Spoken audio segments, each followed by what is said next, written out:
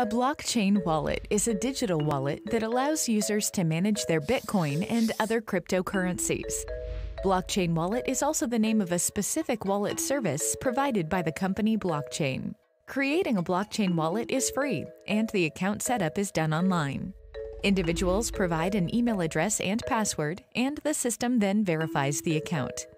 The user receives a wallet ID, which is a unique identifier similar to a bank account number. Users access their e wallet through the blockchain website or the mobile app.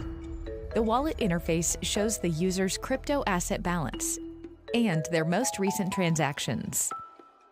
To use the wallet and receive currency, users send a cryptocurrency request to another party. Each time the user makes a request, the system generates a unique address that can be sent or converted into a quick response code called a QR code. Users can also send crypto assets when someone provides them with an address.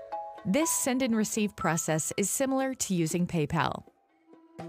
Users can exchange Bitcoin for other crypto assets without leaving their secure wallet.